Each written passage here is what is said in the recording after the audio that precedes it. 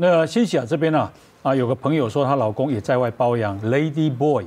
对，其实呢，我那个朋友当初他约我出来的时候，当然你就觉得哇，天哪，你老老公真的是人不可貌相啊，跑去包养这样子。可是让我更震惊，他说：“你知道吗？我老公包养是个 lady boy，lady boy 哈，什么是怎样有变性的吗？”他说：“不是，没有变性哦。”他说：“就是一般的媚娘，就是一个很斯文的小男生，然后把自己打扮的跟一个一般女生漂漂亮亮女生一样这样子。”然后他就说，他觉得真的非常震惊，所以跑去气冲冲的问他老公，就是说：“你别人不好包。”正常女人不好包，你再包个再辣的辣妹都没关系。你包一个 lady boy，你什么意思啊？这样子，那老公当然就是也是娓娓道出，就是说。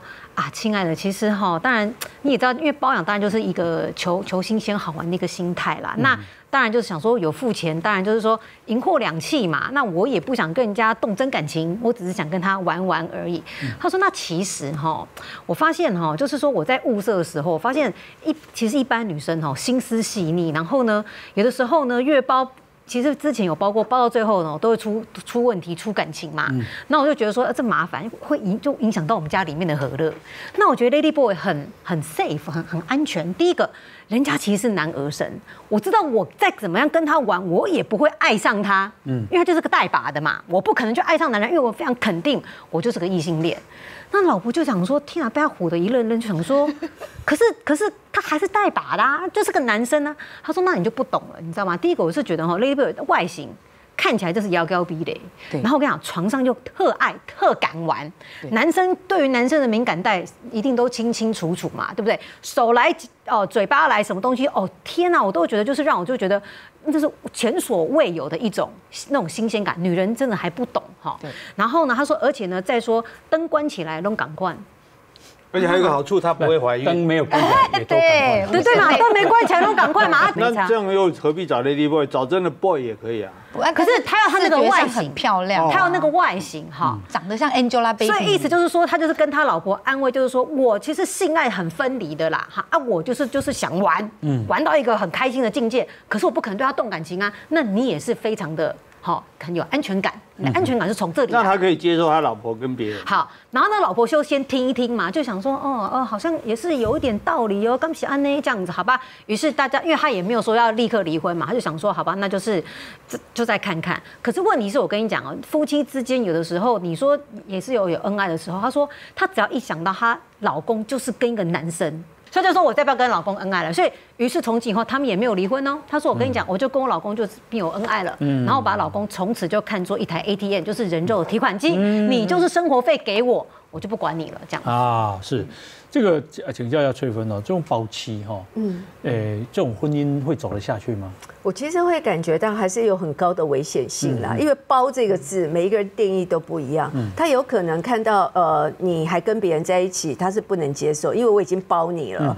所以那个自由度啊，所以这种感情我就会觉得里面充满了危机，因为双方在这个包，我一开始是同意的。哦，女生也觉得可以，男生也觉得可以，可是过程中心理是会变化的。哦，嗯，所以像这个女生，她一旦被包养之后，包到最后，男生会可能爱上女生，或女生爱上男生啊？对啊，哦，像我遇过的，反而真的是女生爱上男生的比例比较高。被包了以后，因为本来我就觉得，哎，你你有你的生活，我有我的生活，那你只要负责我的生活，这样就可以了。按月付款呢？对啊，就按月付款，然后呃，我会觉得呃，既然你给我的生活都已经是足够满足我，那我就做我自己的事。一开始都想的很美好哦，我可以去上课，我可以去学这个，然后全对，全部都做我自己喜欢的事，然后呃，这样不是很两两全其美吗？应付那个男的对对对对，而且工资高，工时短，对，然后又可以做自己喜欢的事，然后。对方好像也没有很限制，他说他不能有别人，他会暗暗的可能还会再交个男朋友或什么的。可是真的所有的过程没有自己想的那么的好。是，嗯，那第一个会出现状况就是他可能会开始去管那个男生，嗯，说哎你现在人在哪里，或者是自己呃不舒服的时候会希望对方来陪你，可是对方就说我不行哦，我跟你的关系就到包养啊，对啊，那。所以。我是养你，但是我没有义务要照顾你的情绪、你的感受、你的情感。这时候他的就觉得超过，我是包养你，可是我没有要。呃照顾你的情感哦，我没有要跟你那种情感交流那么多哦。对对然后这时候如果他跟朋友去打高尔夫，或是跟朋友去做别的事，他就会觉得为什么？难道我对你没有吸引力吗？你都不来，然后呃眷恋我一下，所以不来才好啊，因为你的薪水照领啊。所以我就说，包养之后心理会改变的。嗯你原来觉得我只要这样就好了，嗯你你的那个欲望会越来越大。那另外一个，我觉得性跟钱一旦挂钩在一起以后，包养这个女生不晓得会不会去呛那个正宫哦。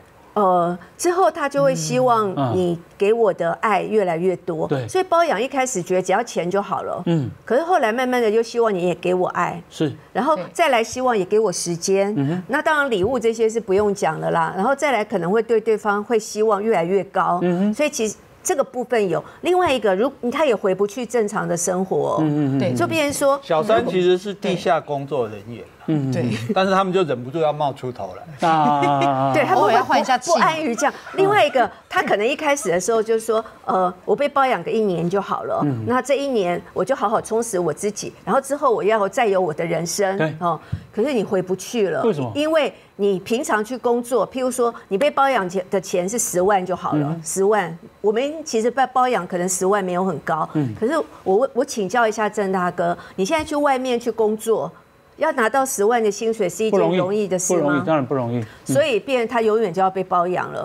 因为他拿他去工作的时候，他就觉得这么少。那我还不如被包养好了。嗯，对那可能一开始的时候觉得只要被包养一个呃，就是说呃，譬如说，如果他在念大他，会随着他的年资越来薪水越少。对呀，而且被包养的时候，而且还有一个危机嗯，中途被弃养了。啊，中途被弃养，中途被弃养了他不养你了，对然后他会觉得怎么办？怎么办？我我突然没有这个钱，嗯而且被包养的时候，因为手头很阔绰啊，因为因为那个钱得之很易，你会一一直以为对方会一直包养你，一直包养你，是。或是包养的钱会不会升，就是会加薪，哦会越来越多，其是。实会减薪。嗯。所以我其实会觉得包养之后的心理状态的改变是很多的哦啊，都跟你一开始的时候。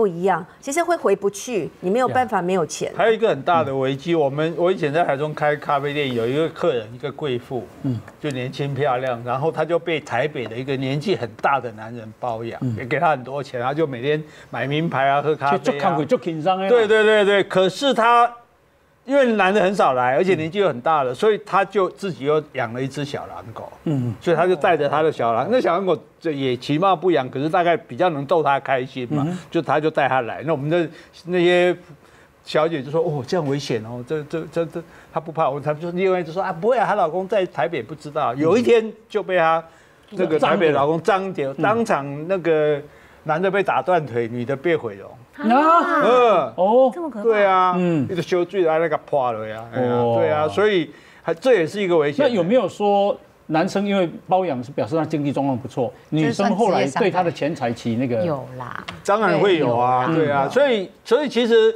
听那个我听我听他们说，因为我是没有能力包养人家啊，就是他们像你没有能力是钱啊，是推了。诶 normal，